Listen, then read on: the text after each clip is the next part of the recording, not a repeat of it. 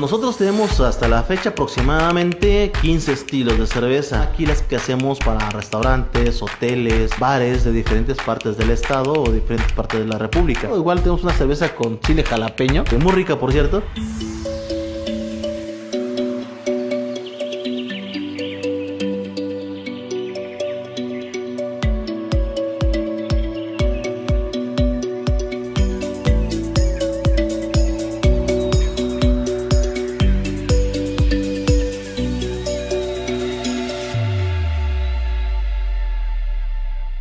Amigos? Muy buen día. Estamos el día de hoy en un lugar muy especial aquí en Ocosingo, Chiapas, eh, presentándoles a todos ustedes a un gran amigo, una persona emprendedora y sobre todo muy trabajadora que ha logrado establecer su propia empresa, crearla prácticamente desde cero y pues aquí es cervecería Sima. Pues quiero saludar a mi amigo Vicente Arturo, quien es el propietario de esta de esta importante empresa, la primera cervecera en Ocosingo, y que pues ya desde hace algunos años ha promovido pues eh, eh, el emprender también a otras personas su propio negocio, y pues queremos platicar el día de hoy. ¿Cómo estás Vicente?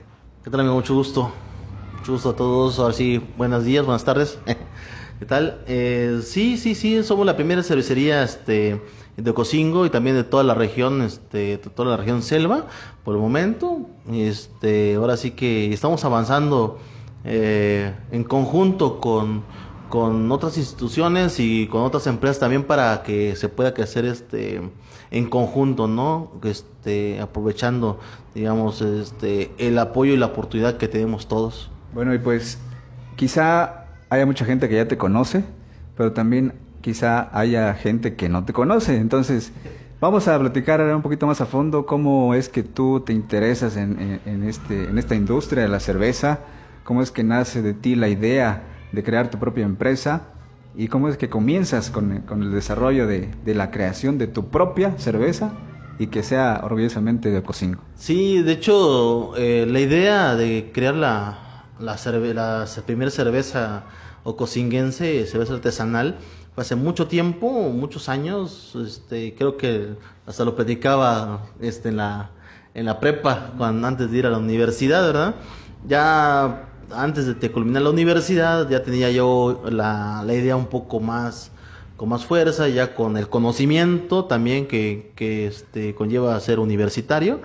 Eh, el asunto lo que hacía falta era el capital y, y eso creo que para, para mucha gente, no solo para nosotros, es, ha sido y va a seguir siendo la limitante. Falta de apoyos, este, eh, rascársela solito, ver cómo, cómo le haces, etcétera, etcétera. Sí, entonces, pues precisamente este, la creación de la cerveza eh, es un producto que siempre me ha interesado y, y bueno, viendo, digamos, la, el historial a nivel nacional, estamos hablando de que la cerveza artesanal eh, tuvo sus auges en los años prácticamente entre los 2000, 2000 a 2010, o sea, no es no tiene mucho tiempo que, que tiene el auge de la cerveza artesanal acá en México. Entonces, pues ahora sí que estamos este, entrando a un ambiente de trabajo y a un mercado que es prácticamente virgen, porque mucha gente desconoce eh, qué es una cerveza artesanal o qué se diferencia con una cerveza comercial. O sea, hay personas que piensan que, que una cerveza artesanal eh, no tiene alcohol, otros piensan de que, que, no es amarga, otros piensan de que este que es de, como la cerveza de raíz, que, que los juguitos que te que compras este en algunos parques piensan que es como eso. No, es una cerveza este, hecha con los mismos ingredientes o ingredientes semejantes eh, eh, que la cerveza convencional, que las comerciales, solamente de que la cerveza artesanal, a diferencia con la este, industrializada, eh, se le agregan más ingredientes, se puede decir los ingredientes que le dan así que la calidad lleva mucho más lleva mucho más grano, lleva mucho más de lúpulo, lleva mucho más este, de lo que cataloga al sabor en sí de la cerveza comparado con una comercial una cerveza comercial por eso es la diferencia de los de los costos una comercial prácticamente se produce por lote más de mil millones de, de botellas verdad cuando producías este, de manera artesanal cuando muchas veces puedes llegar a mil botellas a mil quinientas pero todo dependerá de tu capacidad de producción, ¿sí? Ok, precisamente era lo que queríamos aclararle a la gente, ¿no? Que esta es una cerveza artesanal hecha aquí, en tu, en tu local, en tu espacio, y pues como ya lo comentaste, hecha por tus propias manos, o sea, no hay una industria, una gran industria que, que esté establecida en Ocosingo, por si se lo imaginaban de esa manera, ¿no? Estamos en un espacio pequeño, pero en el que se desarrolla esta, que es la primera cerveza artesanal. Y bueno, pero aparte tenemos muchas ventajas, ¿no? Dentro de la cerveza artesanal de la comercial, de que pues en la comercial solo hay algunos sabores, ¿no? Y son como muy limitados en ese aspecto.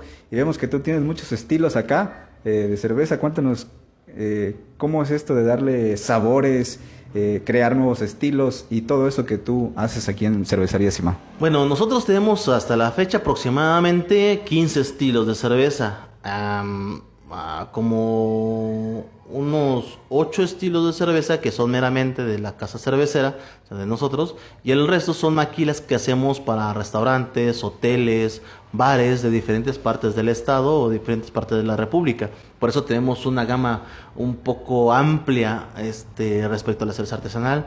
Ahora, en cuestiones de los estilos, a veces hay muchas personas que no, este, que, que no saben qué es eso digamos, cuando agarras una cerveza comercial, una cerveza comercial, por ejemplo, las cervezas de lata que todo, el mundo conoce, que son claras, este, amarillitas, para no decir marcas, ¿verdad? Este, todas son lager. Sí, igual las cervezas oscuras también son lager. La diferencia es de que, bueno, dentro de la familia de las lager qué tipo de cerveza. Entonces, las claras son Pilsner o Pilsener, las oscuras pueden ser este desde Viena, estilos Boch, estilos Múnich, estilos de, más que nada alemanes que este que se diferencian ya no es tanto por el color, sigue siendo lager, pero el color es totalmente diferente. Ahora, en la cerveza artesanal, la mayoría de los cerveceros artesanales usamos la otra familia, que digamos que la contraparte de las lager, que se llaman los estilos ales o ales. Entonces los ales tienen una gama también mucho, mucho, muy amplia, pero eso nos hace este factible, digamos, para la producción este a pequeña escala, porque eh, son cervezas que se llevan a, bien a esa temperatura de ambiente que tenemos aquí en esta región. Y también este eh, la calidad de la levadura, la cantidad de, los insumos que le agreguemos y aparte también por la cuestión este, de equipamiento, ¿verdad? Una lager te cuesta mucho más trabajo hacer que una cerveza ale. Entonces eso es una de las diferencias entre las dos grandes familias. Ahora, entre los estilos de las ale estamos hablando de un mundo súper gigante. Digamos, están las pale ales o las paleales, como lo quiera mencionar.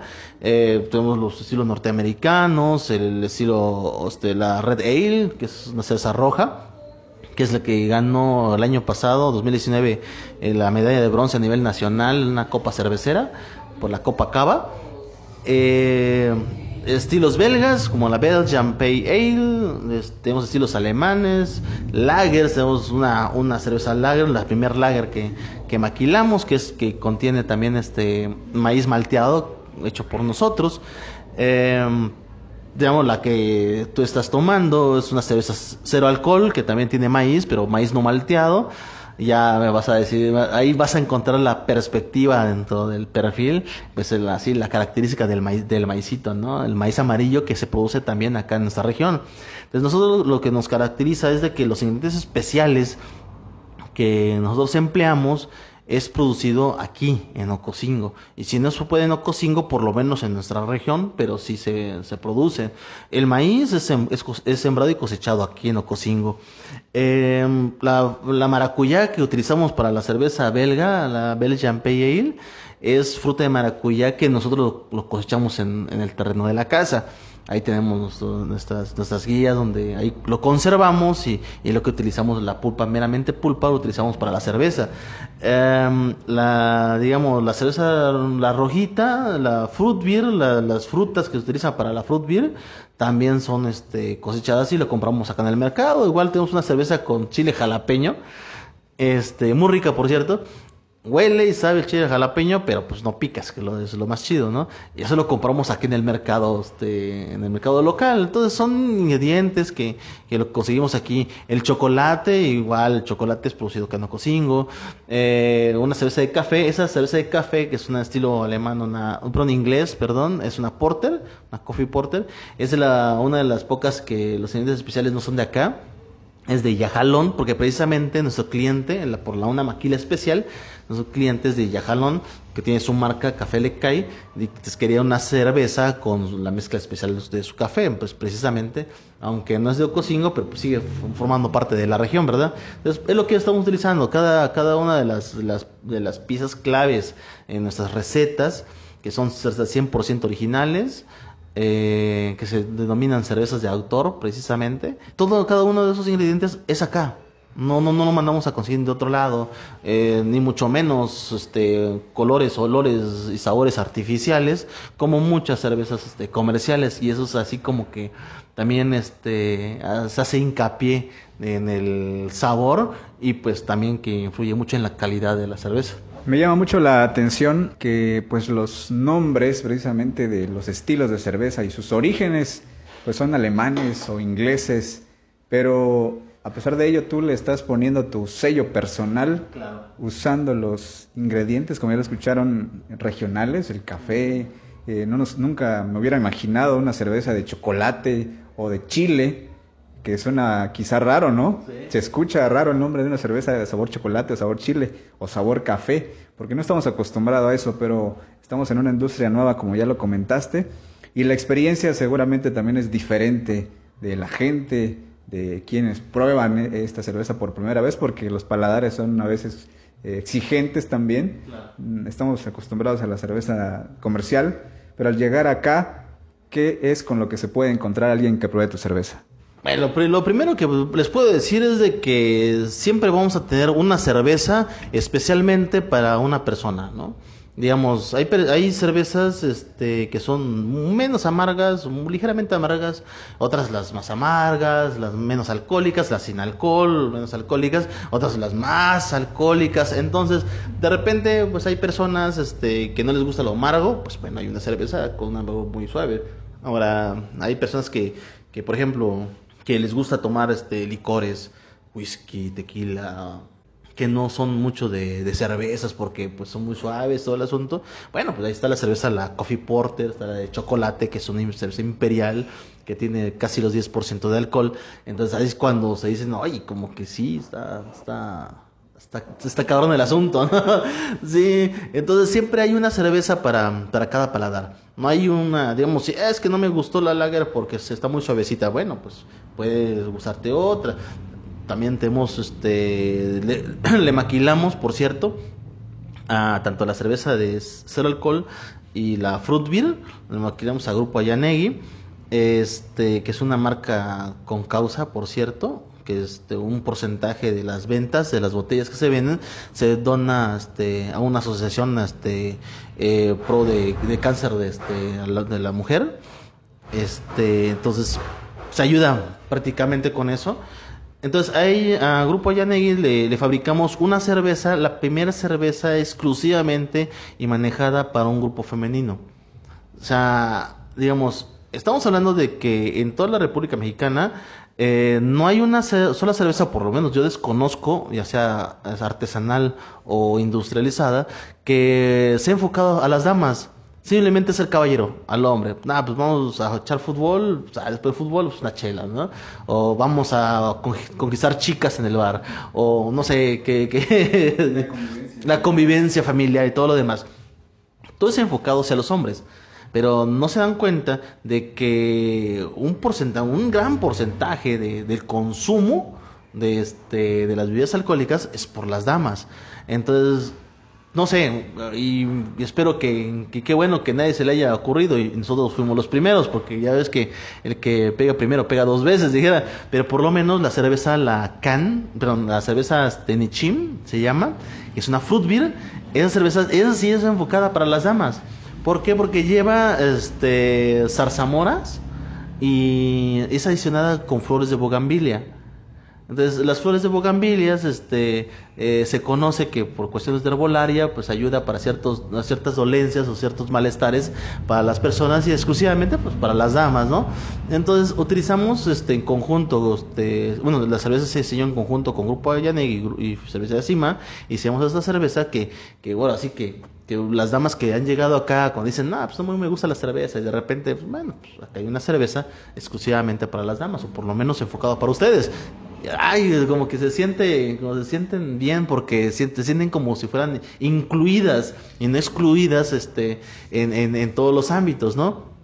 Y cuando la, la degustan, pues la, la, la, explosión del aroma y sabor este, de los frutos y flores, pues sí les ha ido muy pero muy este, interesante tanto que hasta una sonrisa en, el rostro este, este se le sale no entonces es lo que hacemos es lo que hacemos. Siempre este este aunque digamos los estilos digamos son alemanes son ingleses son británicos son este eh, belgas por ejemplo que son los países que son más cerveceros y que tienen más historia eh, son, así se llaman los estilos en inglés, y este, o sea, de British Pale Ale, etcétera, etcétera. ¿Por qué? Porque nosotros nos manejamos bajo una normativa. Una normativa, este, es una normativa este, alemana, por cierto. Entonces la normativa alemana, pues nos dictamina cómo debe de ser una cerveza, eh, los grados de alcohol, el color, aroma, sabor, eh, amargor, etcétera, etcétera. Porque si uno no cumple con, con la normativa internacional, prácticamente tu cerveza, aunque la quieras llamar este, cerveza X, entrará como cerveza B, ¿no? Y eso, ese cambio y ese, este, eh, ese conflicto en, en, los estilos de la cerveza, pues obviamente recae en el producto y la apreciación del, del, público en general, o más que nada del público conocedor. Entonces siempre nos regimos bajo los estándares internacionales. Ya obviamente uno como cervecero este, o cocinguense vaya, o artesano cocinguense, lo que hacemos es, bueno, manipular este este, bueno, crear una receta desde cero, porque no, no, no, no compramos ni este, ni lo bajamos de internet ni de libros, hacemos las recetas desde cero bajo los estándares internacionales y a partir de eso ya le, agregamos ya así que el toque o la firma no específica que nos diferencia que si tenemos acá algo este algo genial acá en cocino que se puede utilizar y ah bueno pues queda genial en este en este asunto bueno lo utilizamos lo experimentamos y si queda genial pues mucho mejor. Ya sacamos una nueva línea no de cerveza este de cerveza premium ¿sí? Entonces, eso es lo que, lo que hacemos, eso es lo que siento que nos diferencia de cualquier cervecería este, eh, industrializada y también de cualquier cervecería artesanal en, en, nuestro país y en el mundo.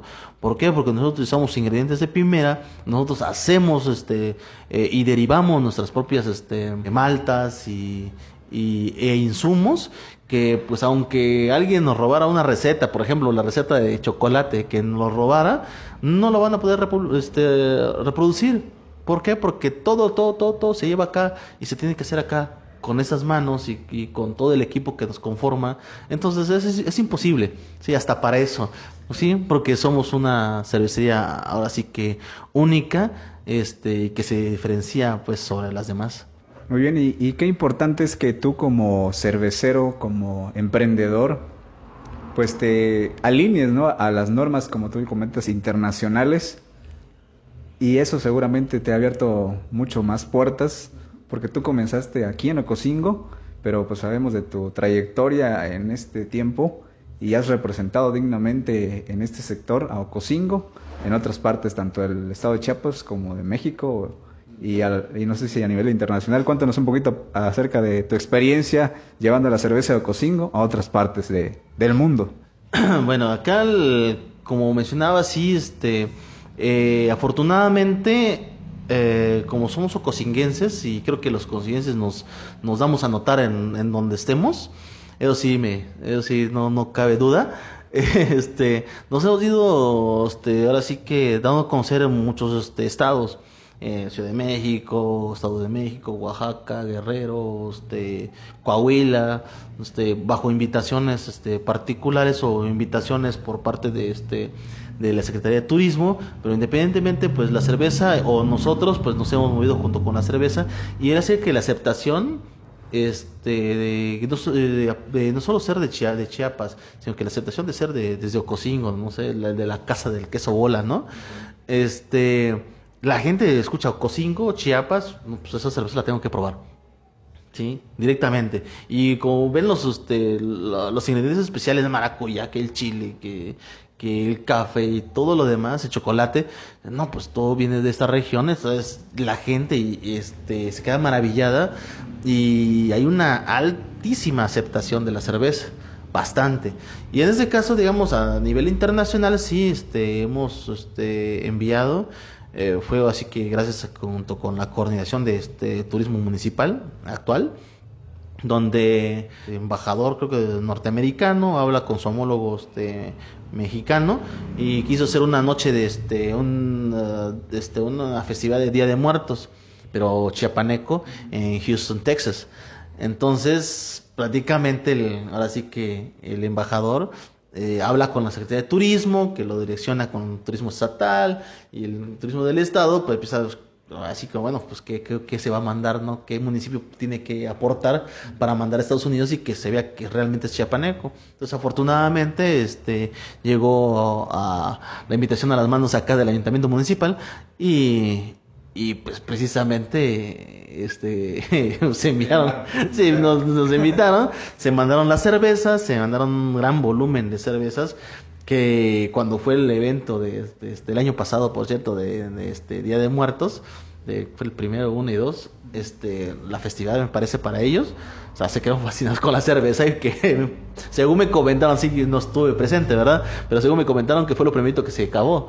Y eso que no estaban regalando por botellas, nos estaban regalando por pequeñas muestras a todos los, este, a todas las personas, a los invitados ahí de, este, de la fiesta del consulado norteamericano.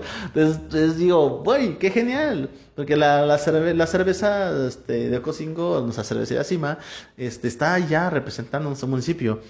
Y siempre, en cualquier evento, donde sea que se envíe la cerveza Tijuana, etcétera, etcétera, siempre decimos, es una cerveza de orgullo ocosinguense, hecho por manos ocosinguenses, y aunque nos han dicho de que nos movamos a otro municipio, porque es más fácil hacerlo en San Cristóbal, es más fácil moverlo en Tuxtla, eh, aquí estamos, aquí empezamos cuando en un inicio la gente no creía en los, en los proyectos, así que a veces tenemos sí, las cosas malas, pues, este, como sociedad, que no falta, pues, aquella persona que te quiere desalentar, que de que no, pues, ¿qué haces algo en Ocosingo? Pues, de nada va a servir, se va a echar a perder, no sé, no, nadie lo va a comprar, eh, vas a fracasar, mejor vete a Tuxa, San Cristóbal, Tapachula, ahí sí lo vas a hacer, aquí no, aquí no sirve. Y pues bueno, lo personal, esa, esa cosa, no sé, no sé si lo, se puede llamar malinchismo o cosinguense, pero eso pues no, este, a mi socio, mi hermano, este, y yo, este, no nos pareció, nos enojó y hasta, hasta con más ganas lo hicimos acá no consigo. Y mira, pues aquí todavía seguimos, ¿no? Después de unos cuatro años de trayectoria apenas todavía. Oye, pues me da mucho gusto y me alegro de que esta cerveza haya llegado pues ya tan alto. El nombre de Cervecería Sima ha escalado a otros niveles y el nombre de Ocosingo, ¿no? Está ya sonando en todos lados. Comentabas hace rato que tenemos un producto eh, muy arraigado, que es el queso bola. Pero ahora ya podemos hablar de otro producto, que es la cerveza, ¿no?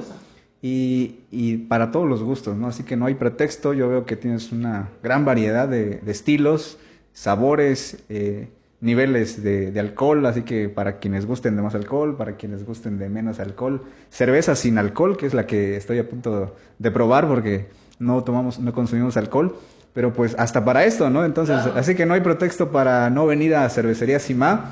Eh, queremos eh, también destacar que este es un negocio familiar, o sea, tú con, junto con tu familia, tu papá, tu mamá, tus hermanos, están, eh, fueron los que crearon esto, ¿no? Y, y, pues seguramente para ustedes como familia es un orgullo. ¿Cómo, se sienten? ¿Cómo ha sido este, este caminar de la mano, tú y tu familia? Eh, seguramente es un orgullo para, para todos ustedes. Claro que sí, bueno, pues siempre como con todo, ¿verdad? Nada, nada es fácil. Cuando iniciamos, iniciamos este con mi hermano Dorian, que ahorita está, está trabajando, este, mi hermano Dorian y tu servidor, este, lo iniciamos, así que con una pequeña inversión este personal, un ahorro personal, debo decir que, que lamentable, bueno, yo, ¿no? De que este, salí de la universidad, eh, empezaron los cambios de gobierno, los exenios, los trienios y demás. Entonces, en vez de estar contratando el gobierno federal, está este, despidiendo. Entonces me tocó una mala temporada, una mala racha.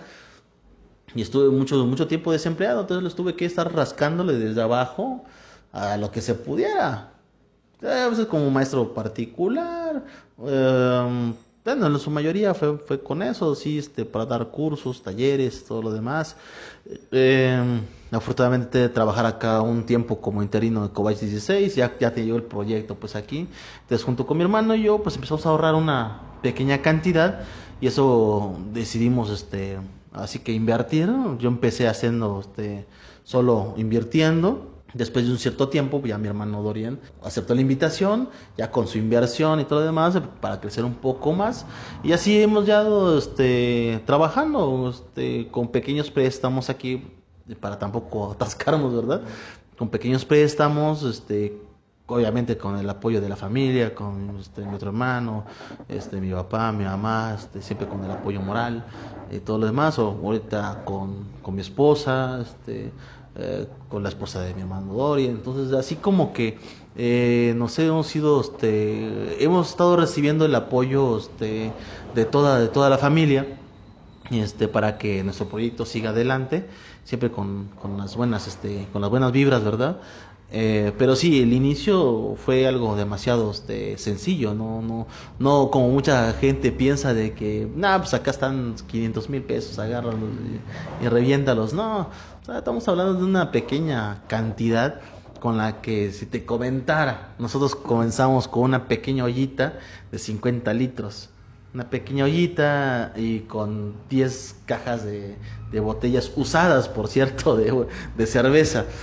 Entonces, y así como que ah, hasta ahorita me, hasta me da nostalgia este, este acordarme, ¿no? Pues sí, con, ¿con qué? Con dos libras de lúpulo comenzamos. Entonces, sí, con cosas muy pequeñitas que lo, lo único que nos alcanzaba.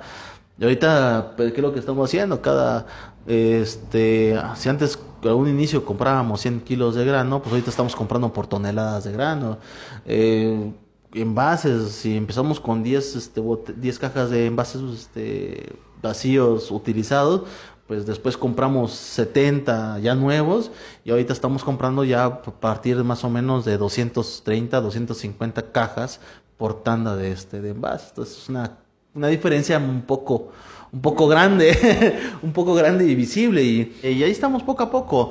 Ahorita afortunadamente este, bueno, ahorita estamos con la cervecería Sima con, este meramente cerveza, ¿no? Mi esposa está con Grupo Ayanegui, que no solo va a hacer este producción de su marca de cerveza, sino que va a hacer producción de, otra, otras artesanías, ¿verdad?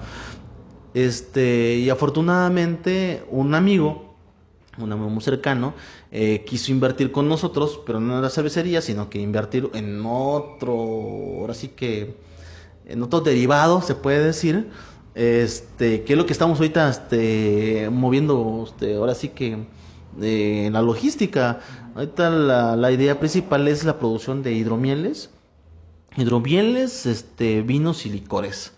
¿Sí? A que, bueno, una parte ya no sería exactamente cervecería Cima, sino que sería una nueva empresa, pero pues ahora sí que con, con un inversor en este caso, eh, donde la hidromiel es una, una fermentación alcohólica igual semejante como la cerveza, pero la base, en vez de ser grano de malta o de trigo, la base es miel de abeja.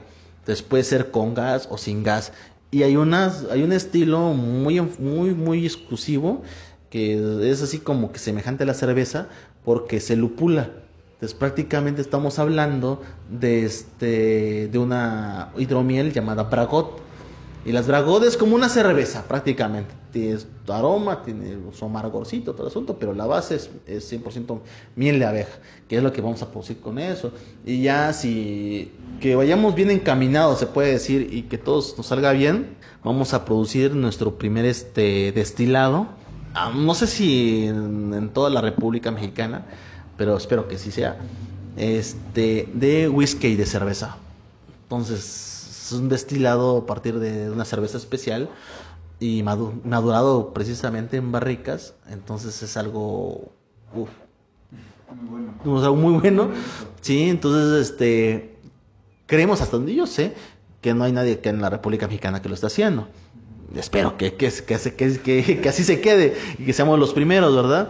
Pero próximamente, cuando se dé su tiempo, ya vamos a estar este, publicitando la nueva marca este, es decir, la nueva, eh, el nuevo emprendimiento y las nuevas marcas y ahora sí los nuevos derivados que, que, este, que obviamente lo van a poder conseguir a primera mano con nosotros, ¿sí? Pero ya se va a estar creando una, una, ¿cómo dice? Una logística, bueno, así como que como que un poquito por aparte con la cervecería, pero al final de cuentas, este, este, separados, ajá, exactamente, o sea, separados, pero, pero, este, pero nunca peleados, juntos pero no revueltos, o nunca peleados, ¿verdad? Oye, pues muy interesante todo lo que hay que hablar de cervecería Simada, que, que recordar los orígenes, ¿no? Tú decías la, la pequeña olla en la que comenzaron, pero ahí estaban depositados todos los sueños, todas las metas, todos los límites a los que querías llegar y los estás alcanzando y eso es lo que me da mucho gusto. En lo personal eh, te considero un amigo y eso para mí, pues eso es un placer que compañeros que conocemos desde la infancia eh, hayan crecido, no solamente de edad, sino profesionalmente, laboralmente, y, estemos ahora platicando ¿no? de, estas cuestiones que son que le dan un renombre a, nuestra tierra, a Ocosingo. Eh, para ir finalizando, pues bueno, yo quisiera eh, que tú nos hablaras también, porque trabajas de, de por temporadas eh, como ya lo comentaste hace rato, tu producto se fue para celebrar el Día de Muertos en Houston. Y no sé si tengas algo preparado para este fin de año. Ya viene diciembre. Este, has participado en otras eh, eh, temporadas del año, en ferias pasadas, en años pasados.